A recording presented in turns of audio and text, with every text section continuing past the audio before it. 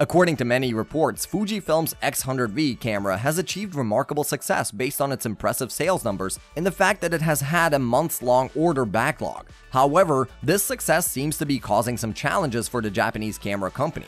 The X100V has consistently been in high demand, leading to significant shipment delays even after its initial release. The backlog has become so severe that B&H Photo has decided to suspend orders for the X100V until further notice. Earlier, it was reported that Fujifilm was facing difficulties due to a shortage of parts, specifically semiconductors, which had an impact on the production of camera bodies and lenses.